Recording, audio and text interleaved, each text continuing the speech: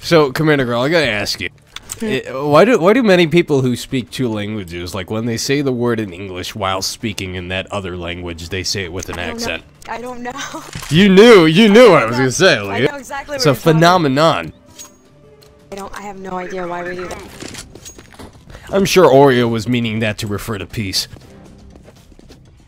I think it's because like, it's, I don't know. I think it's because you read it that way and that's how you say it. Some I think it makes it- like that. It makes it very uh, convenient for the people quit. speaking the other language to know that it's a foreign word. Yeah.